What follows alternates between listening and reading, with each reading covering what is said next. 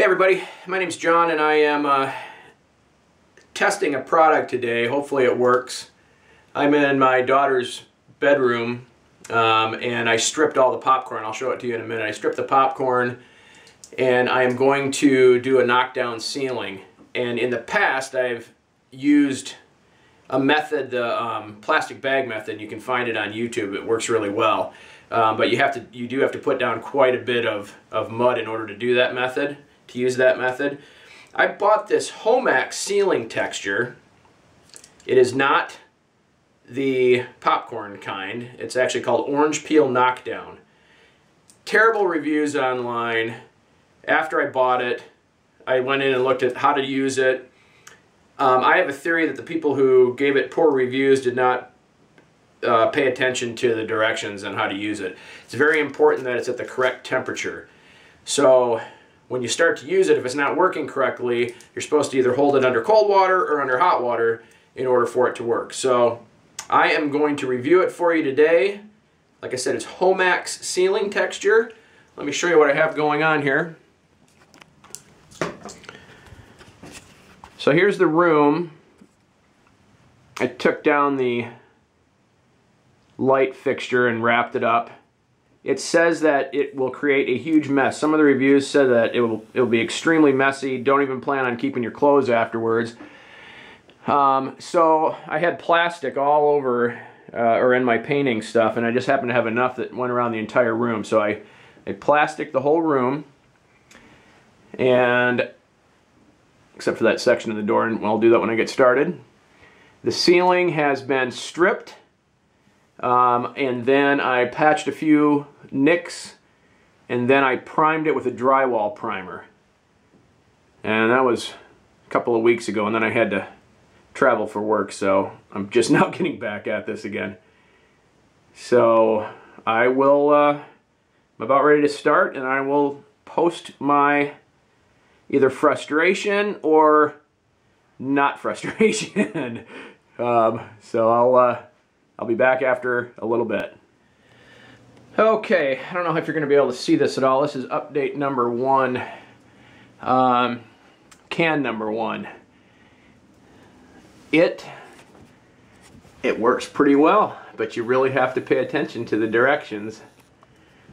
Um, it is messy. If you look at the reviews on the, the Homax website, uh, I don't know if you can see, but there's splatter everywhere.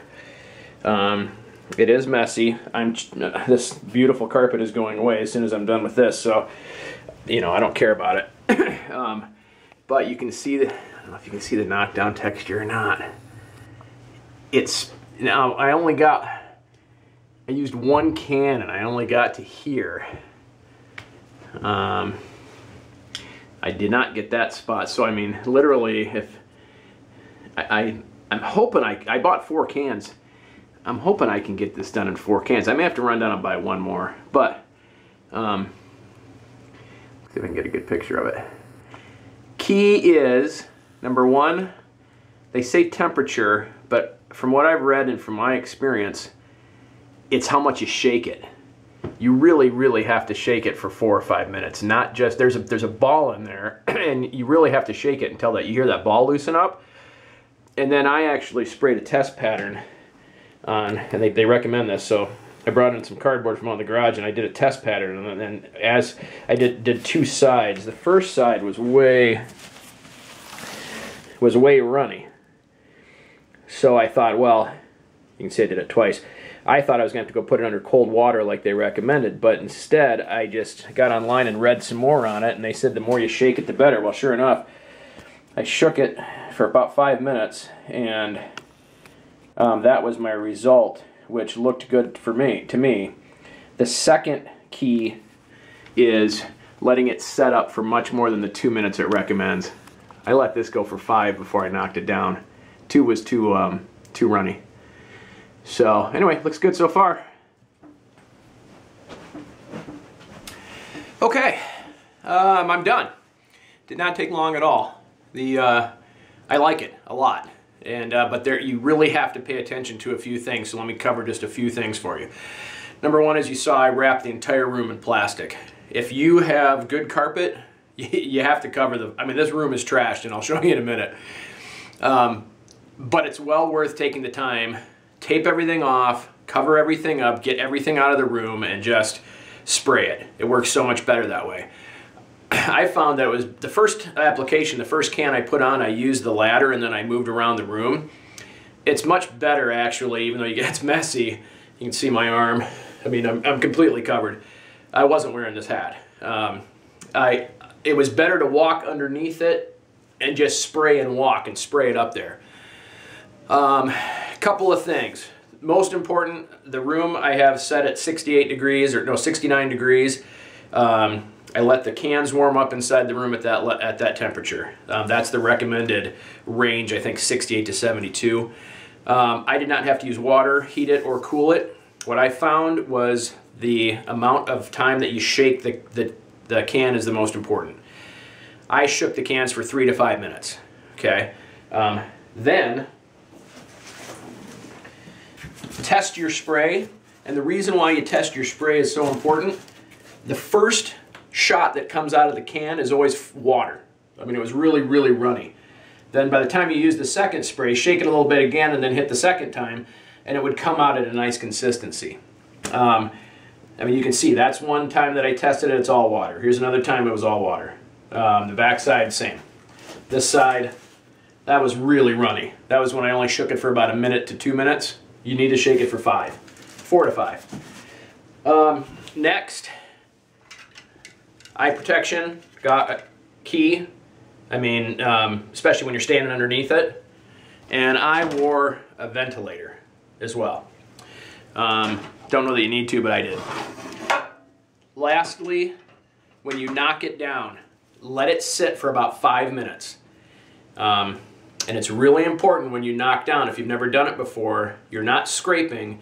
It's extremely light pressure and as flat as you can to the ceiling. If it's too wet or you don't let it dry long enough, you're just going to smudge it. It's just going to pull across and it's just going to be a wet smudge. It's not going to give you the desired texture. So let me give you the finished product real quick. All in all, I say excellent product. If I would have used the bag method, I would have been in here all, I mean, I would have been in here all day. Um, this took me probably two and a half hours and that included the time it took to, to plastic the whole room off. So, final.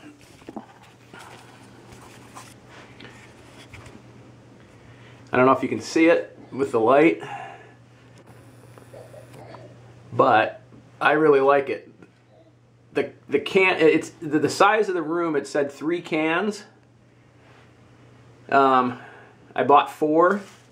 Three actually worked for this. Um, but there were a couple of areas that were light.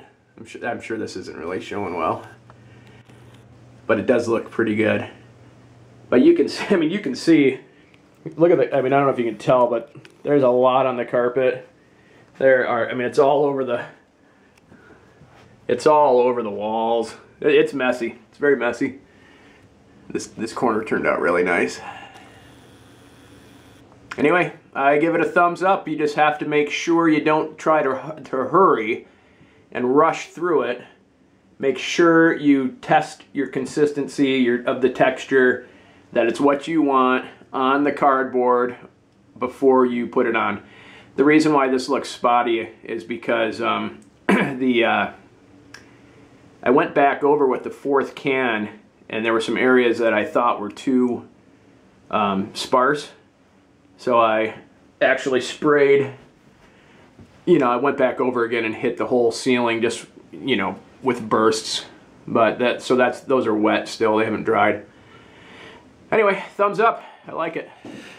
Okay, I'm back. I thought I was done, but I wanted to add one more, uh, one more piece to the video. The product says after three to five hours that you can um, paint. I waited about six and I started to paint. Um, it went on, when I cut it all in, it did really well with the brush, no problems. As soon as I put a lot of paint on the roller, then it started to really clump up. Only on that first swipe, the first roll, when the, the, the roller was really, really saturated. So I'd, you know, reach up there and pull and it would, it would clump up and pull some of the, the product off of the ceiling so it was on. Um, not a big deal. By the time I got done, or you know, after that initial um, issue, I was able to keep moving and rolling. Um, every time I reapplied paint, it did the same thing. So it wasn't a huge deal, um, but just be aware of it. I jumped up on the ladder after I let it dry just a touch and then I would pick the flakes off of the ceiling and um, so it's it's not too bad. I did a real light coat of paint for the first um, for the first coat just so that I could you know hopefully that now this paint will dry and I won't have the same issue again with the second coat. It wasn't bad, uh, but I would recommend possibly waiting until the next uh, morning before you, or the next day before you put that first um, coat on. Not that I, I don't know if it'll actually matter, but um, that's just my recommendation. Thanks.